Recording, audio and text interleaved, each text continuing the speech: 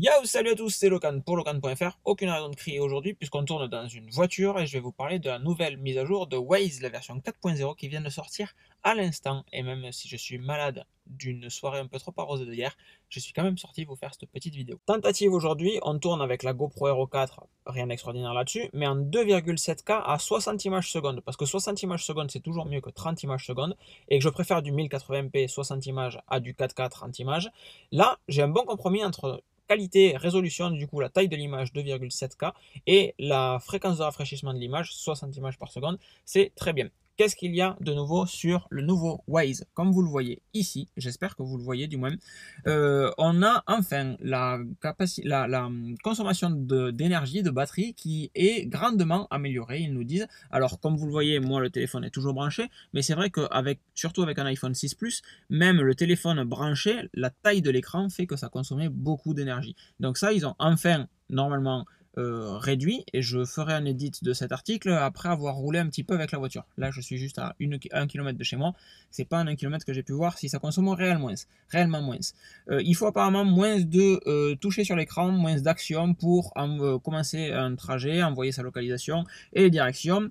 Le, le, panneau qui vous dit dans combien de temps vous allez arriver, etc. a été réorganisé et effectivement c'est assez cool. Je vous montre ça dans deux secondes. La, les, les cartes pardon, sont mises à jour et sont sont bien plus visuelles que les précédentes. Les couleurs euh, pètent un peu plus à la gueule, c'est très cool.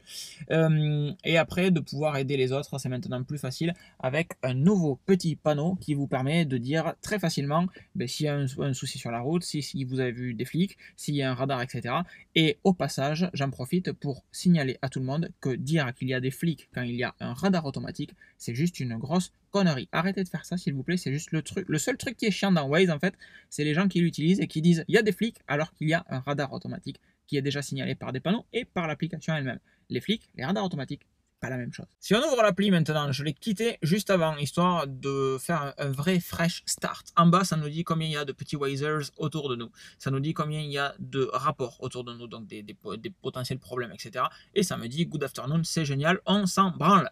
Euh, je configure moi le speedomètre sur la gauche. Alors, je vais faire ça et revenir là parce que là, comme vous le voyez, le Back to App Store en haut, c'est juste super chiant, on voit pas le réseau. Euh, petite pub pour Intermarché au passage. Ce qui a, ce qui a l'air cool dans cette application, c'est qu'elle semble savoir gérer par où on regarde. Vous voyez le petit point en bas qui tourne en même temps que je tourne mon téléphone.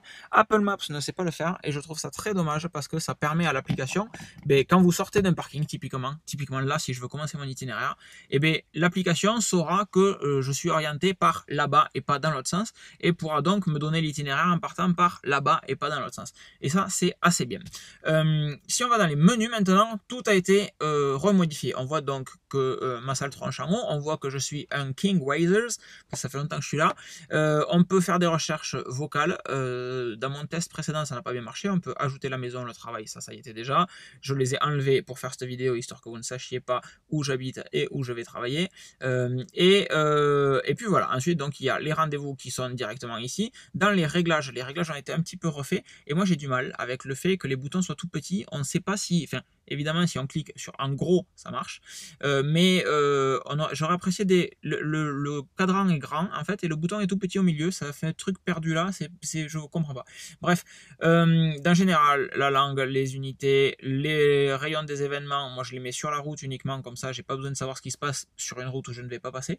le son, donc avec la voix française de Vanessa, que j'ai pas modifiée, on verra s'il y a quoi que ce soit d'autre.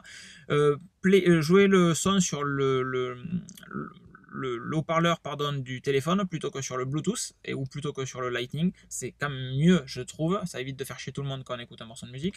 Et euh, dans Display Settings, le Map Color Scheme a changé. Avant, il y en avait une chier, toute une palanquée. Maintenant, il y en a deux. Il y a Défaut et Map Editor que je trouve plus visuel parce que plus contrasté et plus coloré. Euh, et puis, et puis c'est tout. Affiché sur la carte, vous configurez ça comme vous voulez. Ça y était déjà. Les Voice Commands, euh, clac, ça c'est en passant trois doigts devant, moi j'ai du mal, euh, je non, j'accroche pas du tout avec cette gesture. Euh, et puis, et puis, et puis, grosso merdo, c'est tout. Donc maintenant, on part d'ici. Avant, souvenez-vous, il y avait ce raccourci qui vous permettait de lancer directement une navigation. Il n'y est plus, il vous amène sur le champ de recherche maintenant. Euh, et donc je vois que j'ai le Carrefour City, 11 route de Balma, qui me va assez bien, qui est dans mon historique. La planification de l'itinéraire, en même temps, il y a 1 km 4 à faire, donc c'est pas, pas bien compliqué, mais euh, ça se fait assez vite et je peux aller voir les cours, les routes. Ici, j'ai juste une route pour y aller. En même temps, c'est pas trop complexe. On va peut-être faire un truc plus compliqué. Donc, vous voyez, ce petit panneau a été redesigné. Je peux arrêter mon truc en 2-2. Et je peux dire, par exemple, que je veux aller. Je vais filmer à côté parce que je suppose qu'il va me proposer l'adresse de quelqu'un que je connais. Voilà. Euh, et je vais lui dire que je veux aller à Grenoble. Grenoble, France. Clac, je reviens. Et euh, donc là, je vais lui dire Go. Le calcul s'effectue, s'effectue, s'effectue assez vite. J'ai tous mes petits problèmes potentiels qu'il y a dessus. Je peux afficher les routes alternatives ici. J'espère vraiment que cette vidéo est visuelle et que vous la, mise au point s'est faite. Sinon, ça va être dégueulasse. Je suis en 4G chez Free, donc ça poutre beaucoup. Et je trouve que là, c'est long pour calculer des itinéraires alternatifs. C'est un petit peu le reproche que je fais à Waze, c'est que malgré qu'il se soit fait racheter par Google, eh ben, niveau serveur, j'ai l'impression qu'ils mettent pas ce qu'il faut. Euh, donc plusieurs routes, bam bam bam. Euh, évidemment, si je change de route ici, ben, ça change la route en dessous. Hein, on n'a rien inventé de ce côté-là. Et si je prends par exemple celle-ci, clac, voilà, ça me dit de partir par là et dans le bon sens. Comme vous voyez, c'est ça qui est cool. Il ne me fait pas partir par derrière pour revenir alors que c'est plus court. Il me fait prendre tout droit parce que je suis orienté dans ce sens-là, vers là-bas. Ça, c'est bien. Euh, et sur ce panneau-là, je peux tout simplement envoyer euh, mon estimated time to arrive ou un truc comme ça. Euh, je peux ajouter un arrêt si je dis que je veux aller par exemple au métro Ramonville pour chercher des covoitures avant de partir à Grenoble. En cliquant là, ça affiche donc tous les contacts et je viens de me faire avoir. Donc j'ai coupé le plan précédent au montage, d'où le raccord un petit peu dégueulasse que vous pouvez voir. Et, et puis voilà, grosso merdo, à tout moment je peux changer mes routes. Il faudra voir ce que ça donne. Voilà la nouvelle interface de Waze. Si je dézoome ça se fait à peu près bien, ça lag quand même pas mal, euh, ça lag quand même pas mal, mais ça le fait. Et, euh, et puis voilà, on retouche là, nickel. Truc reproche encore une fois, pourquoi perdre cet espace en Free 4G, remonter ça et afficher-les en transparence sur ce bandeau là. Là, on perd de l'espace pour rien du tout, c'est juste très con. Euh, voilà, du coup, pour cette petite vidéo de Waze 4.0. Et je me rends compte très bêtement que j'ai oublié de vous montrer à quoi ressemblait le menu de localisation, de dire quand il y a des problèmes, etc. C'est tout simplement ceci, c'est le petit point jaune qu'il y a en bas de votre téléphone. Vous appuyez là et vous pouvez dire qu'il y a un problème de trafic, la police, un accident, etc.